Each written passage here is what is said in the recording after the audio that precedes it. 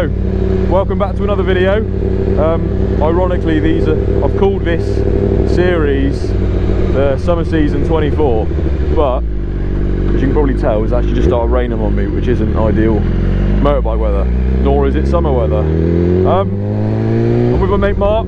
He's got a BMW E30, and it is absolutely immaculate. It's so nice, sick car. Um, I'm going to go to a little spot where I took some shots of his car the other day the end of my local uh, Asda. It's right on the harbour there. It's a nice little spot where I'm going to get some, hopefully, cinematic shots. Oh no. This rain isn't ideal. However, the water droplets will probably look quite nice on the paintwork. It's the only way I'm trying to justify it, to be honest with you, because otherwise I wouldn't be out in this crap. I'm hoping it passes because this is shit. Come on. Saying that, it's got a bit lighter again, and I see clear skies, which is always a good sign.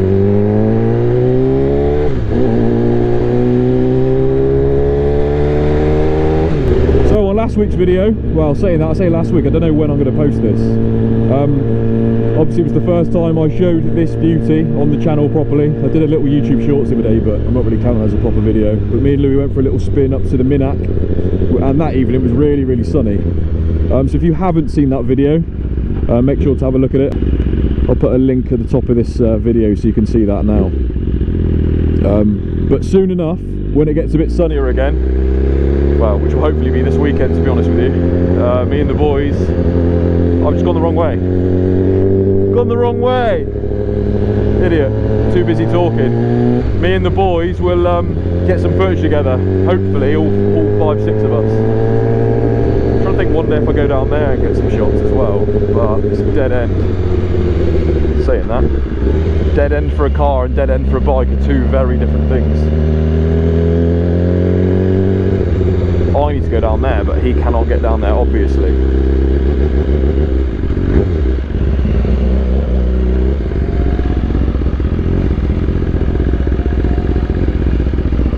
Here she is. I went the wrong way like a twat. We'll have to go round. Hey? They're not working. Mark, I'm going to go down that way and I'll try and film you coming through, all right? With my phone gimbal thing. So if you go the long way, I'll see you down there.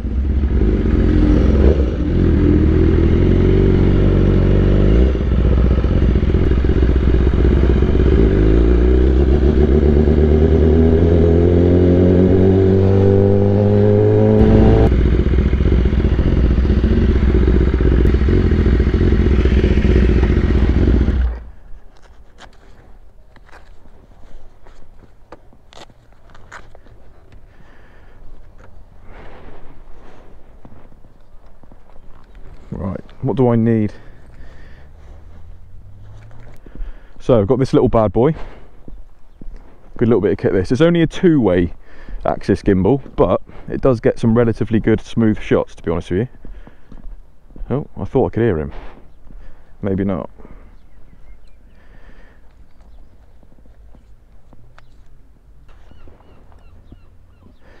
Oh, missed call from Ewan. Shout out to Ewan. I will call you back, mate, but if you see this video, you'll know why I'm not answering yet. Got to get this so it balances in the clips first, roughly. Screw it, I'll do the cheat way. Sort of hold it upright, hold the power button, and then let go of it. Cool. So,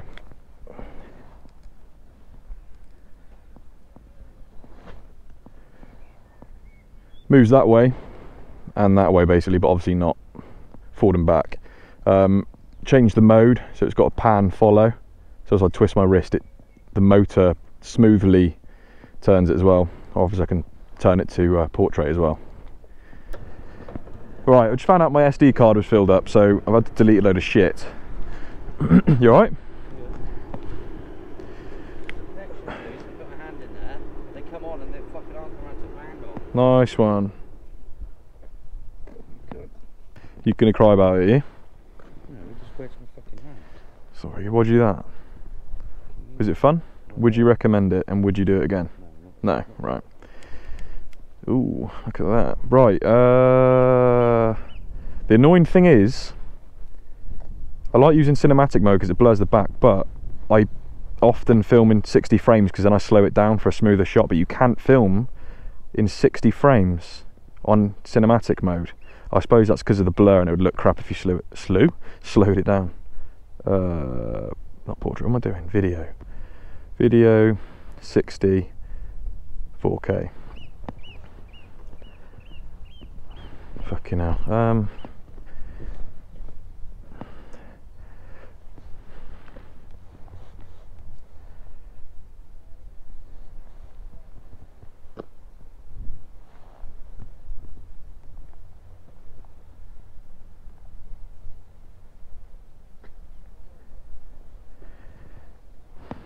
the process.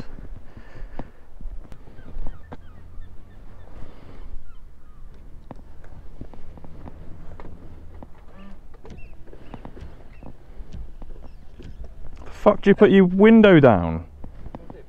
Yeah, do you have to push up my hand or some shit? Is it that old? huh? What's... Oh, mate, I've just been moving your mirror then. Sorry. Is that your mirror then, I'm assuming? Right, yeah, I've moved that. They probably... Do they work? Yeah. Oh. Old. I know it's old. I'm not dissing it. I'm jealous of it.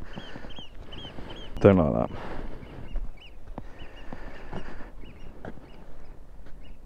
Right, skip this. Let's just go to the results.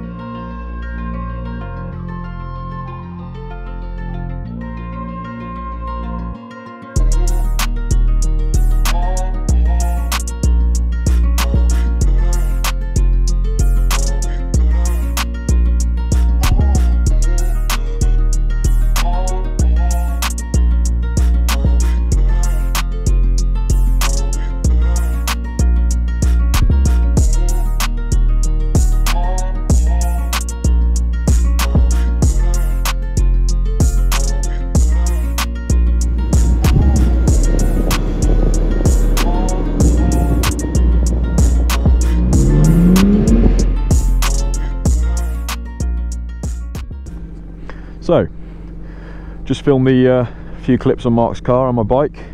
I've not used that gimbal in years. Um, have no idea how it's going to turn out because obviously I've not edited anything yet. I'm starving, so I'm going to get a bit of food. I think we're going Mackey's to be fair, nice and healthy.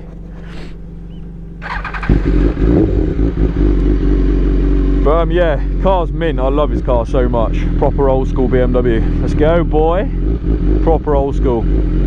They got a uh, 2.5 litre. I think Mark said they're 198 brake stock, but his is chipped, so I don't know. It's probably potentially pushing out an extra 20, but apparently it was an eBay special, so who knows?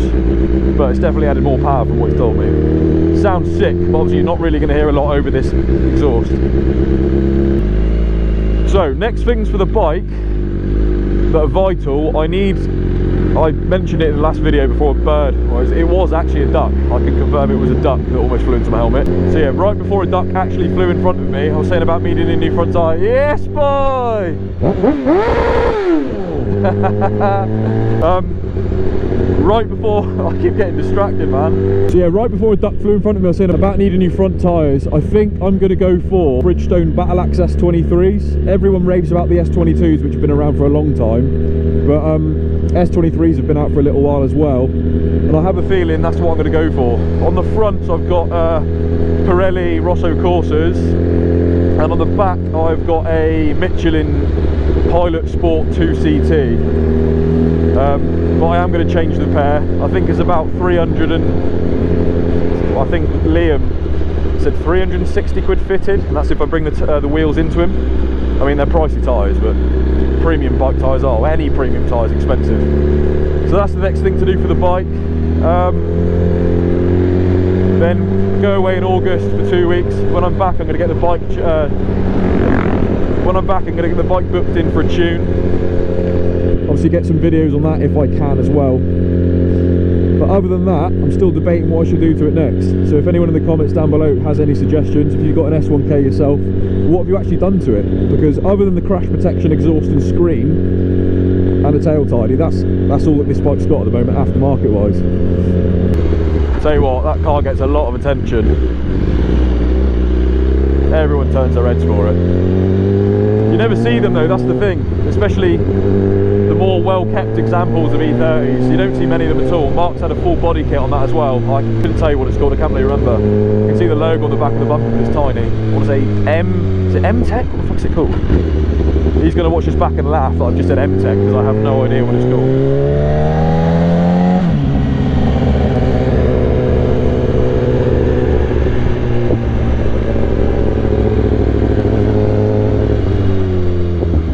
M. Oh, Was actually really close. This is an M Technic. You know what?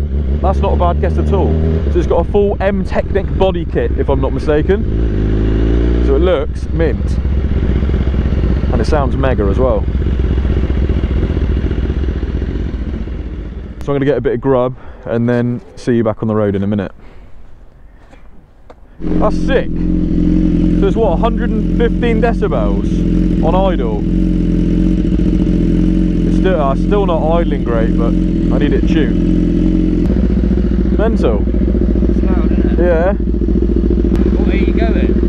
I'm going to go through Hayle. I'm going to go via a shop.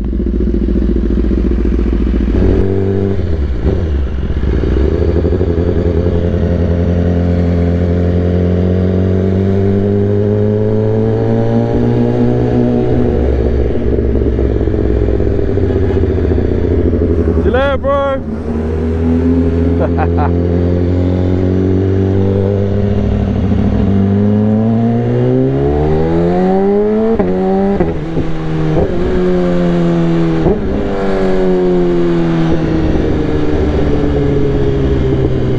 hope you enjoyed the video, guys. I did hope you enjoyed the cinematic clips of Mark's car. Lovely example of an E30. That was all shot and edited on the iPhone 15 Pro. Um, didn't get around to filming anything else with the GoPro that evening. So if you did enjoy, please give it a thumbs up. Make sure to check out last week's video as well, where me and Lou went for a spin to Minna.